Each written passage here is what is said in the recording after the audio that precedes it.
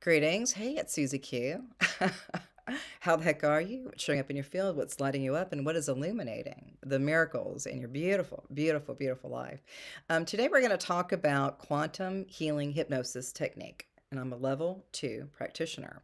So, quantum healing hypnosis technique came to me back in a dream state in 2015. And what was so exciting was that I had the the words Dolores Cannon, and it wasn't a vision or anything. It just was Dolores Cannon.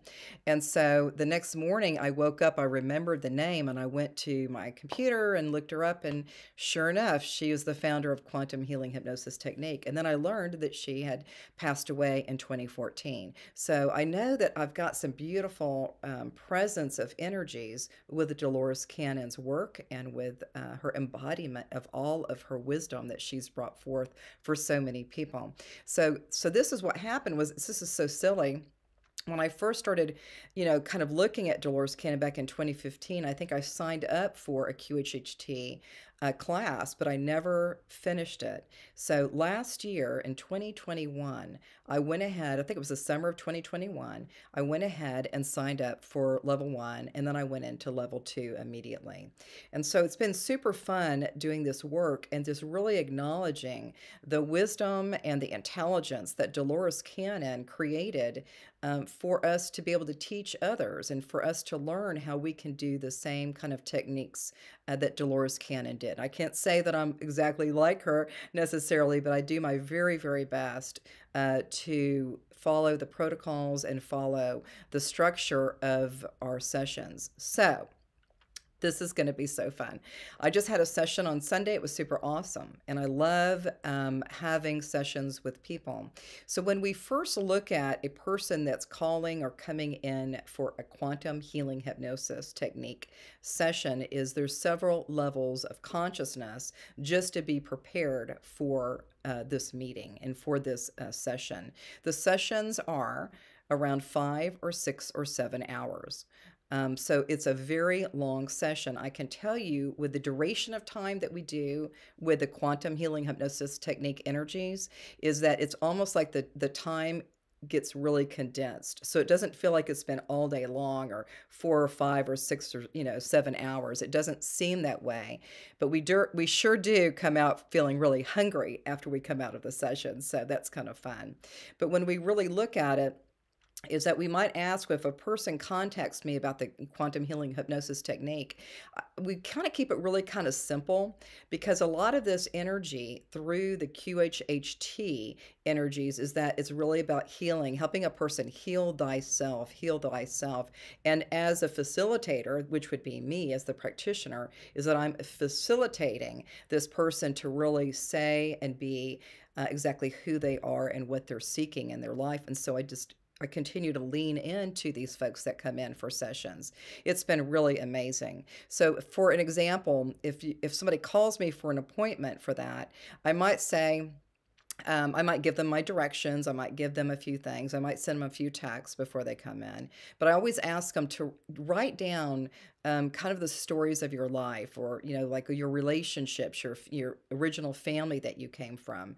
Um, write down details. Ask questions. And you know, even for me, I'm like so curious, and I'm like going. You can ask any question. There will be absolutely no judgment. It's just completely a free zone to just say who and what you are and what you're seeking. It's very, very powerful. People come in and they don't come, sometimes people come in with no notes. And so I'm like, okay, I can work with that still. But a lot of people, I love it when they come in and they have notes and things that they're really um, curious about because I really want to, as a facilitator, I want to initiate a conversation once they're in uh, their meditative state. So it's very, very powerful. Even when I had my first session with a QHHT practitioner, I spent hours doing it. And I did a holographic version, front and back of my body, going back to the time, the earliest uh, time where I noticed things in my body that were a little bit different and off. And I would diagram it on my um, on my holographic uh, versions. So it was pretty interesting. So those practitioners, when you when you give them all the details, those practitioners will go through it for you while you're in your hypnosis uh, your hypnosis session. So those are really important things. You can ask anything. Again, literally, there is no judgment, right? So we work here on the uh, the earthly school. We work in other higher realms. We might work in spirit. We might we might even work with just pure energy, right? So everything it's a free free form kind of uh, feeling that we're going to find the right solutions for you. So when you first come in, um, it's going to be about a two or t- you know, my one on Sunday was almost three hours, but it was like like a two hour session for an interview, and that was when a person can say whatever they want to say. They can say everything, and I have some guidelines or some things that they might you know kind of take a look at. But then everything that they're talking about is I'm actively listening. I'm not taking any notes.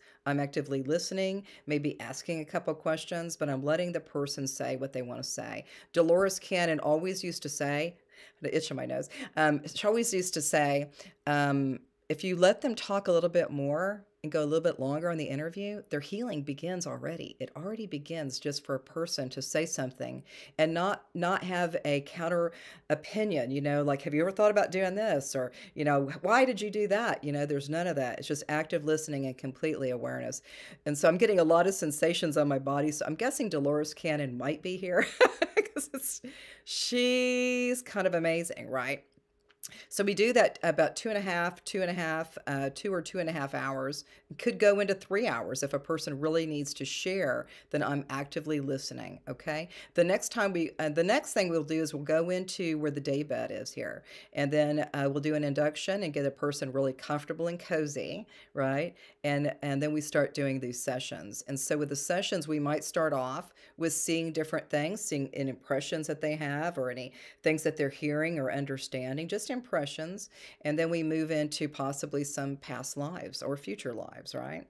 So it's really, really interesting. So we have two hours to be in the hypnotic um, state. Uh, and it's only two hours that we can have a person in that uh, sense of being right on the daybed so it's two hours total uh, for the hypnosis part and so what i sometimes you know we have so many things to do it seems like that two hours is going to be perfect timing for everybody but we really want to as a as a practitioner i want to be sure that I can get most of their questions answered. And sometimes at the very end, when it's kind of getting close to that two hour mark, I'm just like, well, I'm really talking super fast. So for about maybe for the first part of the hypnosis session, it will be maybe past lives or future lives. And the and the past life could be even in this lifetime now of course, we get things from maybe, you know, like 400 AD going into uh, the future of 4,994. That was probably the furthest one uh, into the future that we've gone to.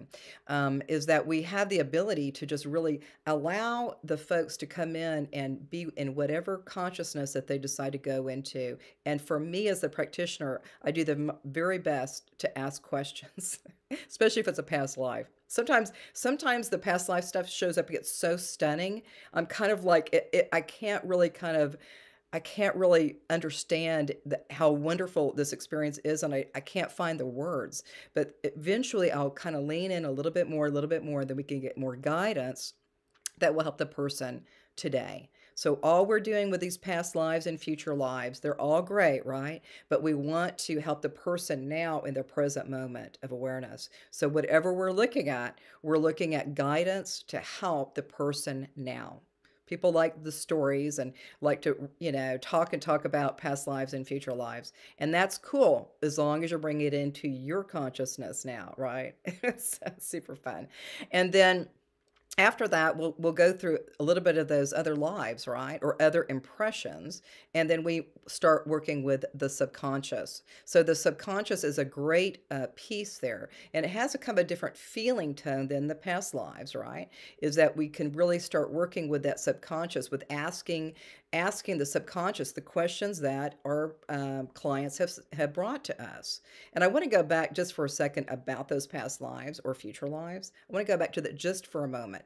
But with the past lives or future lives, some folks, some folks, um, are might be experiencing what is called somnambulistic. We go through these different brain waves to go into these states of awareness, and somnambulistic is something that Dolores Cannon is really was really uh, exploring deeply, right? And so even with some of my sessions, some of my folks are going into that brain wave or that different wave of energy called somnambulist, somnambulistic. It took me a long time how to pronounce it um, but it's called somnambulistic, and that means that the person who is on the daybed in an hypnosis session is taking on the personality and the qualities of the other uh, life that they are, receiving at that moment. It's very, very fascinating. You maybe you have a person that's in their 60s and they're talking like a six-year-old, maybe for a full hour, right?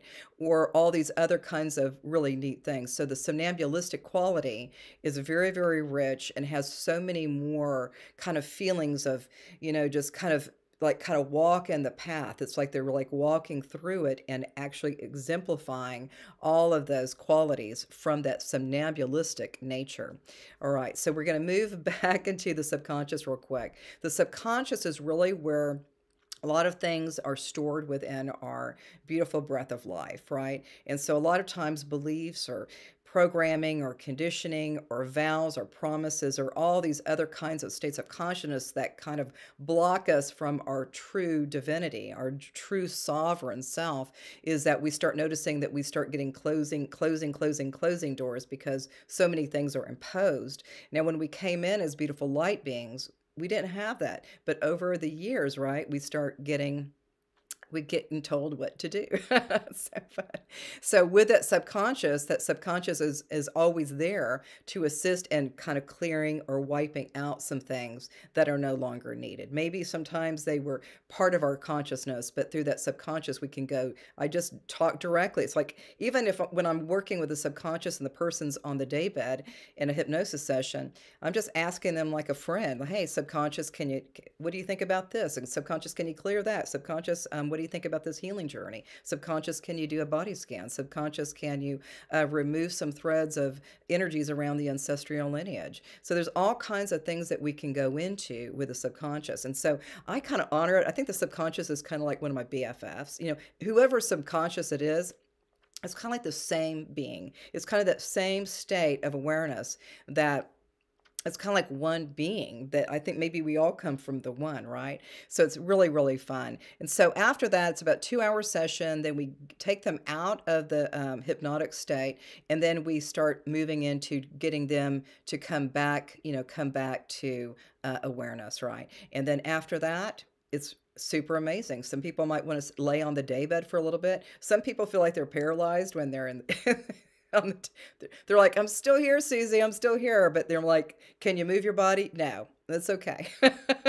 People are like, I'm not hypnotized, but can you move your body? No. So it's really interesting the way people perceive what is hypnosis or what is a meditative state. Anyway, so I think that's it for today. It's been super fun sharing at this level.